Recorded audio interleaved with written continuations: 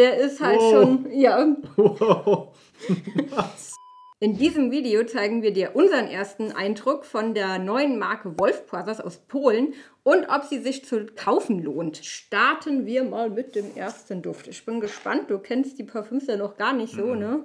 Also der erste Duft, den wir hier haben, ist Wolf. Wolf, okay.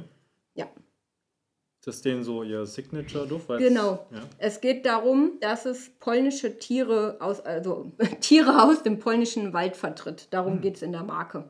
Die haben sechs Düfte am Start. Wir haben die auch alle hier. Ich habe mir zu den einzelnen Düften auch Notizen gemacht. Für mich riecht der Duft original im Auftakt wie eine Roulade mit saurer Gurke. Echt? Gemischt mit, ja, mit so einem frischen Minztouch und dann gemischt mit Nadelwald. Ich hätte mir, ja genau, so nadelig, so ein bisschen Ingwer, Ja. minzig, ja. Ja. Das beschreibt es ganz gut.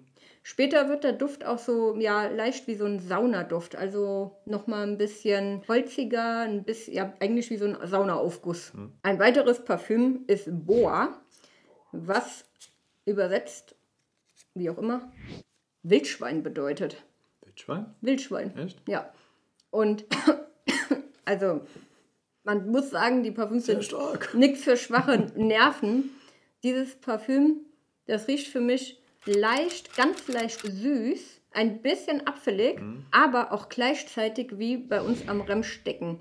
Der Remstecken bei uns ist so ein, ja, so ein Tiergehege, da sind Rehe, da Ja. sind Wildschweine und so weiter. Und wenn man vor diesem Wildschweingehege steht, dann riecht der ganz genauso. Also ich habe auch alle, alle Düfte wirklich auf der Haut getestet und muss sagen, die sind schon ganz schön animalisch und auch ganz schön heftig. Aber ist auch okay, also mir gefällt der auch. Also erster Eindruck ist super. Ja, wirklich, du den, findest den gut für Ich würde dich? ihn auch tragen, ja, Boah, tatsächlich. nee, den, also könnte ich nicht tragen, für mich untragbar. Ein weiteres Tier in den polnischen Wäldern ist Dier, also der Hirsch.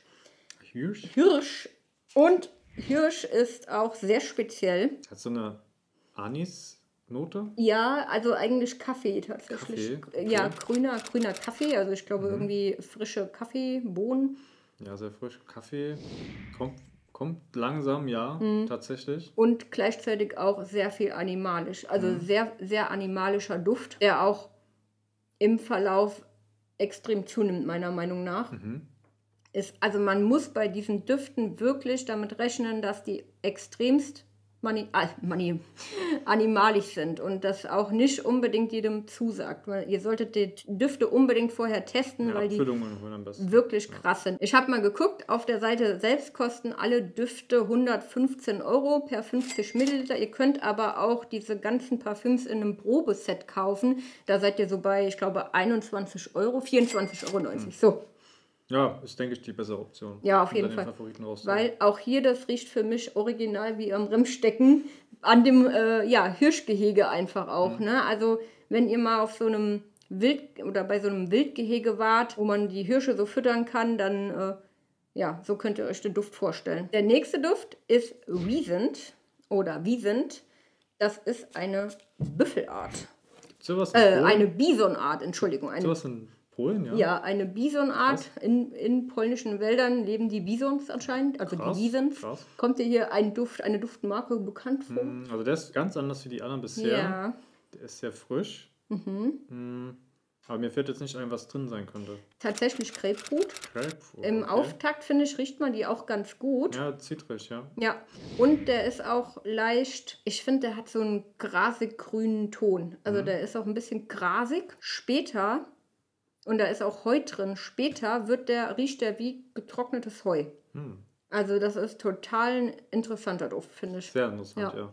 Also sticht auch gerade zu den anderen sehr hervor. Ja, wenn Ziege euer Lieblingstier ist, dann könnt ihr diesen Duft mal ausprobieren. Und zwar, ja, Ziege, Goat. Also,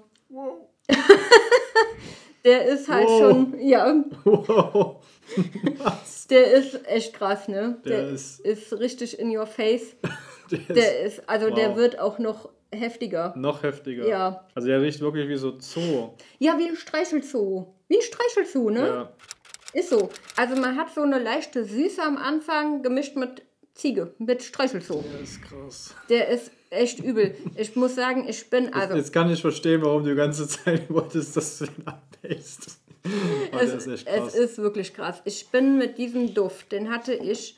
Ich ich teste die Düfte immer vorher durch. Dann habe ich ihn auf dem Teststreifen gehabt. Da habe ich gedacht, okay, ich bin mal mutig. Da der schon auf dem Teststreifen echt hart riecht, du riechst es Sehr ja. krass, ja. Der ist echt heftig.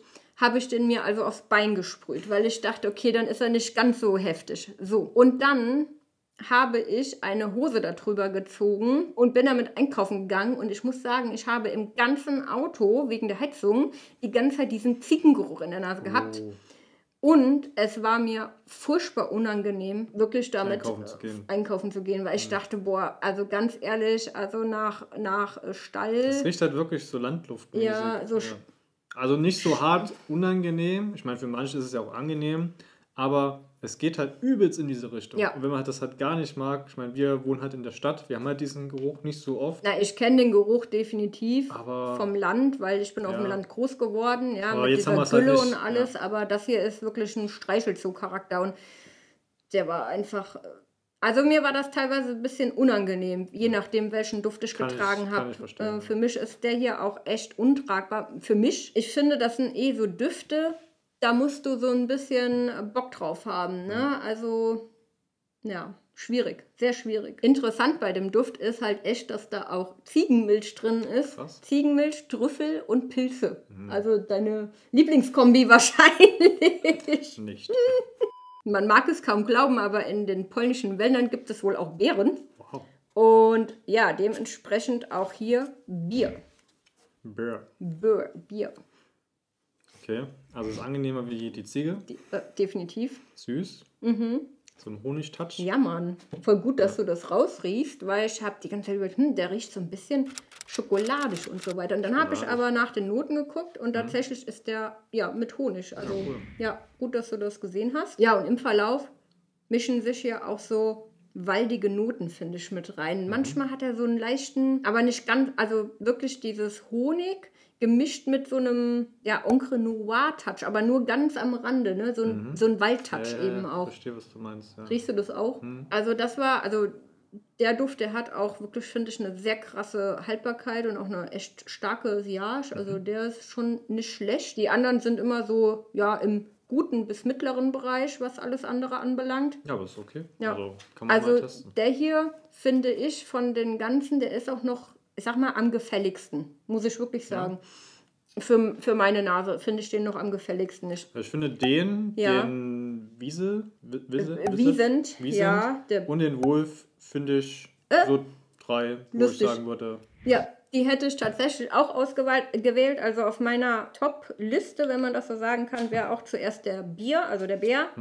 Dann hätte ich den, den Bison, das Bison, also den Wiesent ausgewählt und im Anschluss auch den Wolf. Wobei Ja, ich beim Wolf sagen muss, den rieche ich nicht so dolle. Also der ist für mich relativ schnell. Du riechst ihn äh, hier vielleicht noch drauf. Ich habe den mir heute Morgen nämlich schon Okay. aufgesprüht. ja, leicht. Er ist sehr schnell, sehr Körpernah, körpernah. Ja, das äh, ist da ein bisschen schwierig. Also den, ja, es ist jetzt kein Duft für mich, der Die heraussticht. anderen beiden würde ich auch tragen, also Ja. den Boar und den Deer. Aber muss ist kein Muss. Also ich finde die auf jeden Fall auch okay. Okay. Also mal so zum Testen für mich. Ja, Aber den, den Goat, mh, also den, den Deer, den habe ich auch getragen mal und der, der, das war der Duft, den ich mir abwaschen musste. Okay. Der ging gar nicht. Also der hat also auch jetzt so der erste eine, Eindruck war okay. Ja, ja, der hat aber auch so eine krasse Animalik. Die kommen manchmal hinten rum.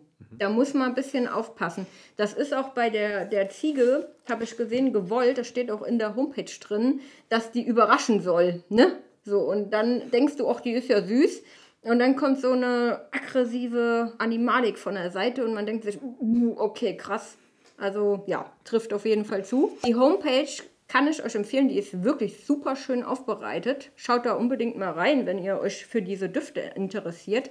Jetzt aber zu der Frage, wann käme das für euch in Frage? Also was, was solltet ihr bedenken bei den Düften? Ihr müsst auf jeden Fall animalische Noten mögen, definitiv, würde ich sagen. Außerdem, ja, außergewöhnliche Düfte. Also das hier sind definitiv Parfüms, die du so nicht riechst. Wenn ich jetzt überlege, die, die neueren Zoologist-Düfte, die sind ja vielleicht auch ein bisschen umgänglicher.